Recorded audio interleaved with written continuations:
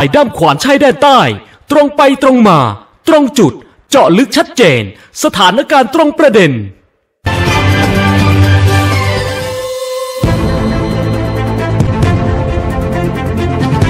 เกาะติดตามข่าวสารทันเหตุการณ์รู้ชัดผ่านเลนทุกเรื่องราว จุดโฟกัสสู่โซเชียลเว็บไซต์ปลายด้ามขวานชายแดนใต้เวอร์ไวเว็บนิกเจ้าโพสต์ .com สื่ออิสระสื่อกลางเพื่อสังคมสะท้อนความจริงชัดเจนตรงประเด็น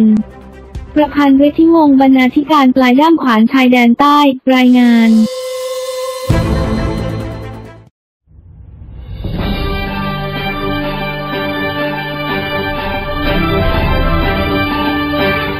ครับ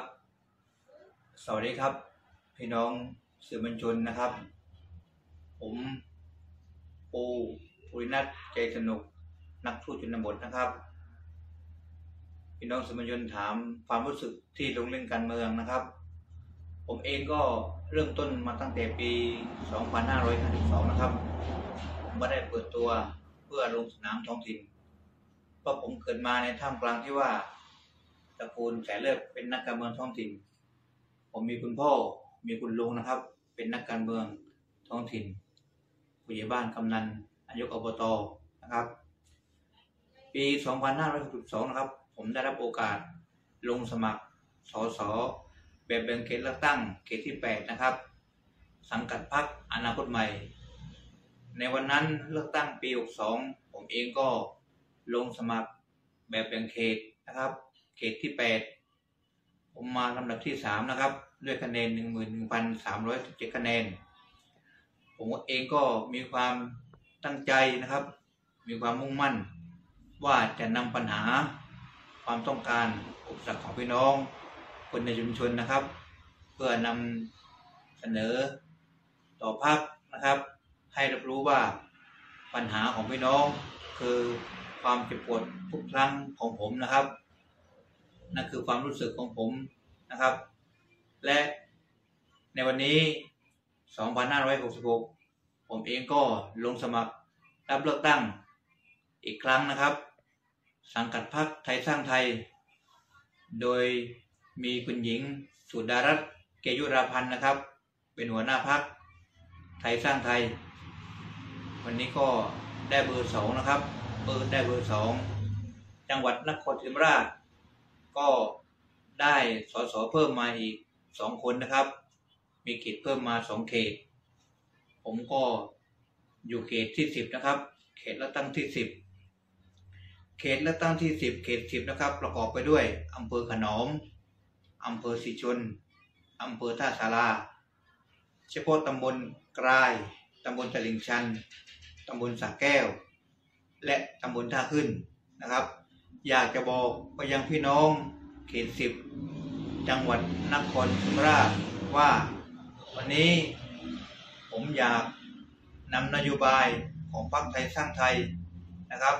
ให้มันตอบโจทย์พี่น้องคนในชุมชนผู้สูงวัยนะครับบำนาญประชาชนเดือนละ 3,000 บาทนะครับ นั่นคือนโยบายหลักของพรรคไทยสร้างไทย